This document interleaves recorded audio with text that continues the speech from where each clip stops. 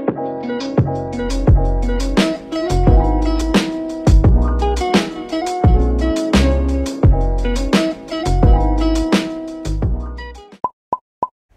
gente, bem-vindos para mais um Estúdio Vlog aqui no canal. E no vídeo de hoje vou levar vocês para uma tarde de estudos que eu vou ter hoje. Eu acabei de chegar da escola e eu tô aqui deitada até agora Eu já almocei, não fiz nada até agora, mas daqui umas meia hora vai começar meu curso de inglês Então eu faço online, né? Então eu tenho que arrumar aqui e vou pro curso. Dei uma organizada aqui nas minhas coisas, mais pra ficar assim, né, com essa mesa limpa pra eu estudar, porque eu tô em cima da hora, não lembro de arrumar muito. Mas agora vou entrar na minha aula.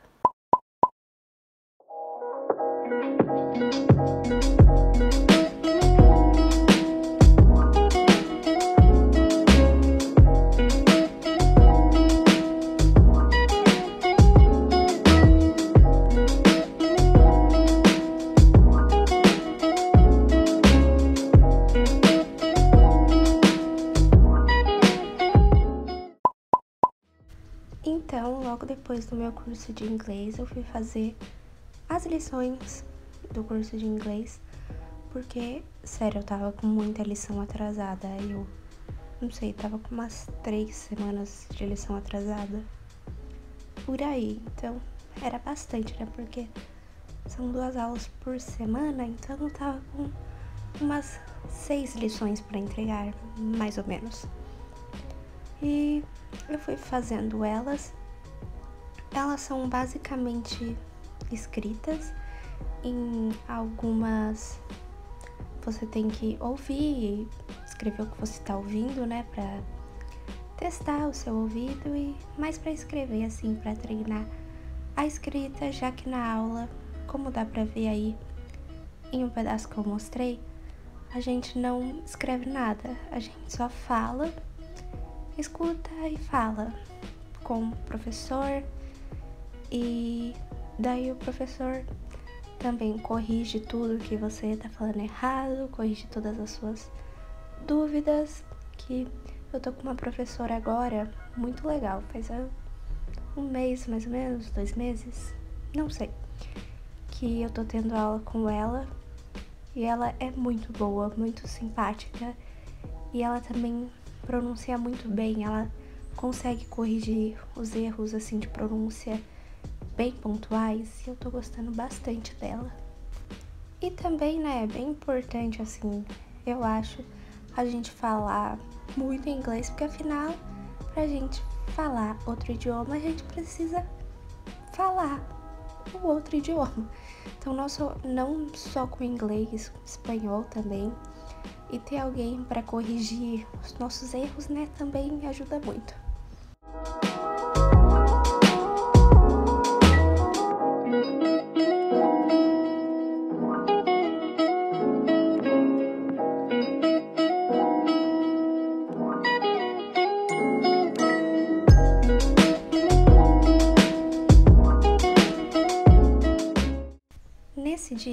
Pretendia estudar mais coisa, por isso até que eu comecei a gravar o estúdio vlog, né?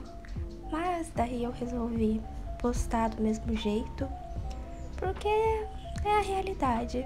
Eu acabei de reparar no meu guarda-roupa aberto lá atrás. Mãe, se você tá vendo esse vídeo, perdão se você não é minha mãe apenas, finja que não viu. Enfim, voltando ao assunto, eu até esqueci que eu tava cheia de lição de casa do curso de inglês atrasado. Porque como eu tô chegando em semana de prova, tá bem corrida assim as coisas da escola. Mas no fim deu tudo certo. Deu certo com o curso de inglês, né? Com as provas eu ainda não fiz, mas tá tudo encaminhado para dar certo.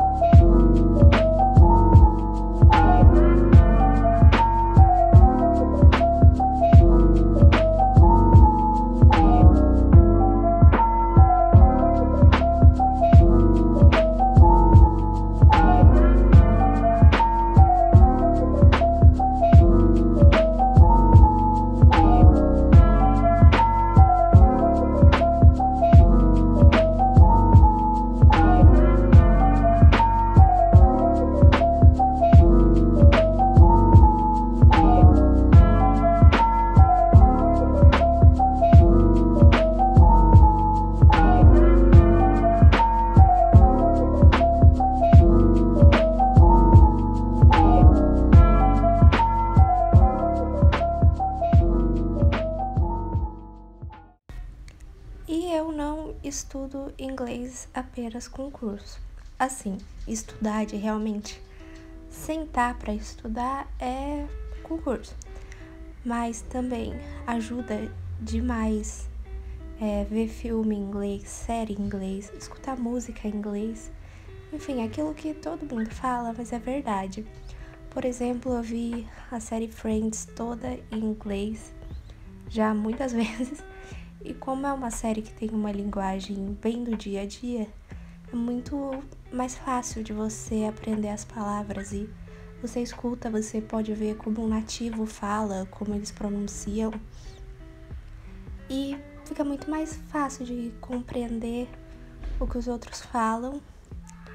E você acaba falando melhor também, né? Porque você acaba ouvindo de uma forma natural, de uma forma como os nativos falam, e você acaba até indiretamente meio que pegando essa pronúncia que eles falam assim. Não sei explicar direito, mas às vezes a gente acaba pronunciando as palavras de uma forma separada, tipo, não as palavras separadas, né, mas fala muito certinho, né? Fala uma palavra e outra palavra assim, separadas, não falam uma frase junta. Não deu para entender nada, mas. É, não sei explicar melhor. Mas assistindo as séries você consegue perceber como eles falam e você começa a falar também assim, sem perceber. Escutar música também é muito bom e uma coisa que eu gosto, eu não faço tanto assim, deveria fazer mais, mas que realmente é muito bom é você escutar a música e lendo a letra dessa música no idioma que é a música, seja inglês ou seja outra, outro idioma.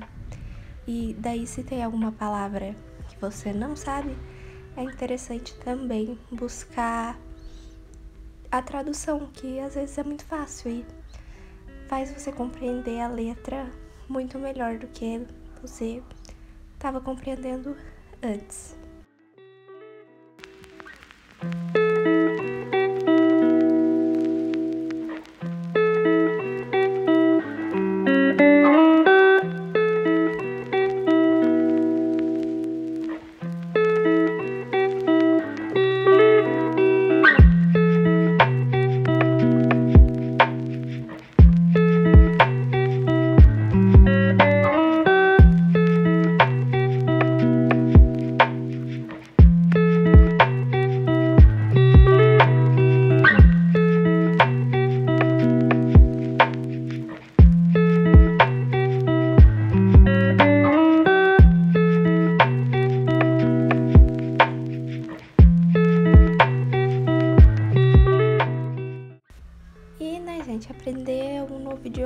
Isso, não adianta a gente querer fazer isso uma vez por mês e achar que vai ficar fluente. Você precisa pegar as dicas e praticar muito, praticar toda semana, o máximo que der. E colocar o idioma no seu dia a dia. Como, por exemplo, mesmo exemplo de série, músicas, são coisas que eu, pelo menos, faço todo dia. Então, se eu já colocar aquilo em inglês, já me ajuda a eu treinar e ao mesmo tempo eu tô descansando.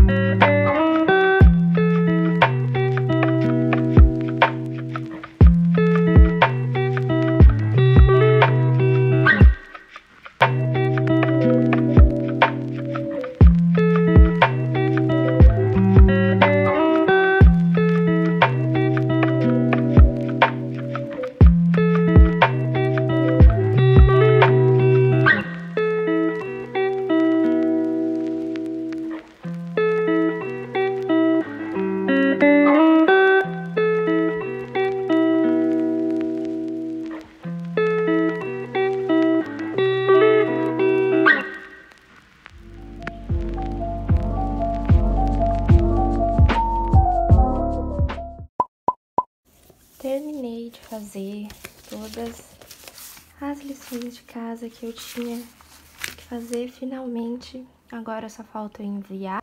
E eu fiz a aula do curso das duas às quatro horas. E agora já são cinco para seis, então praticamente seis horas da tarde. E eu só fiquei fazendo coisa de inglês hoje o dia todo. E ainda eu faltei uma aula, eu vou ter que repor essa aula sete horas, então daqui uma hora praticamente. Então, das sete às oito eu vou ter aula de inglês de novo.